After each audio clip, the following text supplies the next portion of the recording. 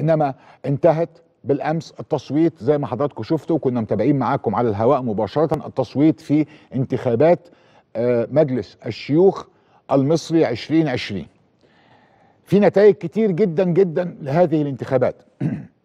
وأنا بتكلم إن أنا حتى الآن جالي كل نتائج كل الدوائر وكل المحافظات والكلام ده كله.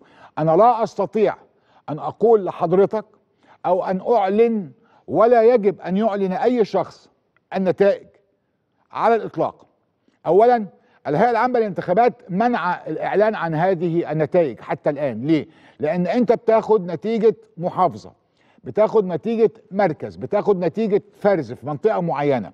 ناسي أن هناك توقيت للطعون. يعني ممكن مرشحين يتقدموا بطعون. ناسي أن هناك نتيجة المصريين في الخارج. في طبعا مؤشرات ودلالات. أقدر اقولها لحضراتكم إنما مش هقدر أقول لحضراتكم أرقام. اللي أقدر أقوله لحضراتكم إن المؤشرات والدلالات بتؤكد نجاح القائمة. خلاص عدينا نسبة الخمسة في المية. اللي أقدر أقوله لحضراتكم إن الحضور في اليوم الثاني ممكن يكون زاد شوية عن اليوم الأول.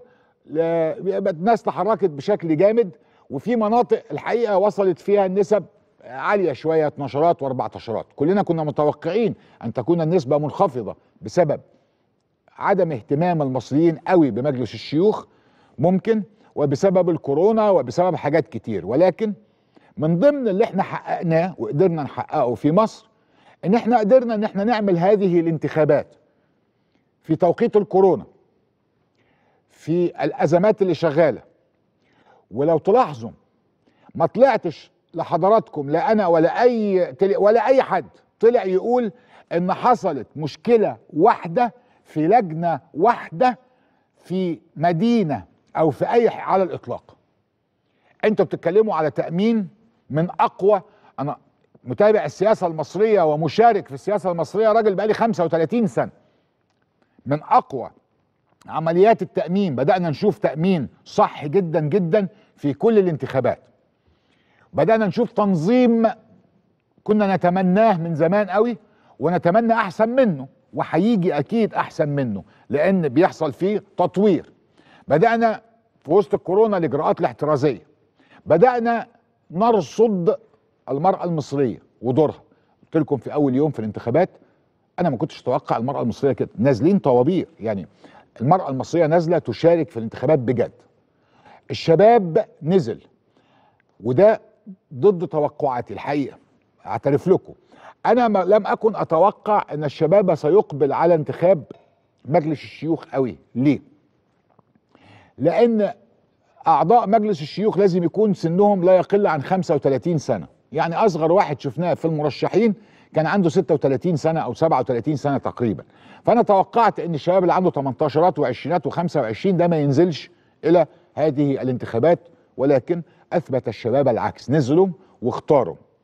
وهتكتشفوا أيضا أنا توقع وليس معلومة هتكتشفوا أن السن الصغير اللي داخل انتخابات مجلس الشيوخ اللي سنهم صغير هتكتشفوا إن في شباب نزلوا انتخبوهم. أنا أعرف جيدا إن في محافظة آه، من المحافظات والشباب رمى على شخصية من الشباب رموا عليه ودخلوه الإعادة. وده يقودني إلى الإعادات. يعني إيه إلى الإعادة؟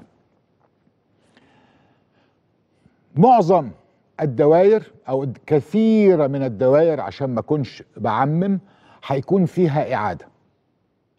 أنا كنت متوقع أن الإعادة هتكون موجودة في الدوائر اللي فيها أعداد كبيرة. لا الإعادة موجودة في الدوائر اللي فيها أعداد صغيرة. أشرح لكم إزاي.